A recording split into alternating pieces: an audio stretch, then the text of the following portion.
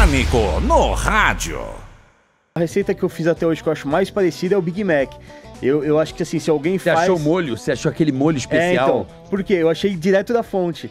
Porque... Cebola Ah, picles. É, não, é o relish de pepino é o que dá o, aquele gosto que você fala, meu. E assim, tava tendo uma campanha de transparência com o McDonald's na, no Canadá e eles falaram que iriam responder qualquer pergunta que fizessem.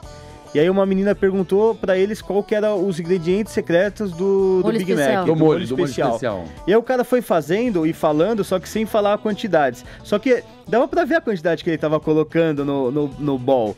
E aí eu comecei a ver a quantidade e, e colocar a mesma quantidade na minha casa da- dos, dos itens que ele tava colocando. Eu só adaptei uns dois ou três pro, pro que tinha aqui no Brasil de ingredientes. E aí acabou dando certo, ficou muito igual.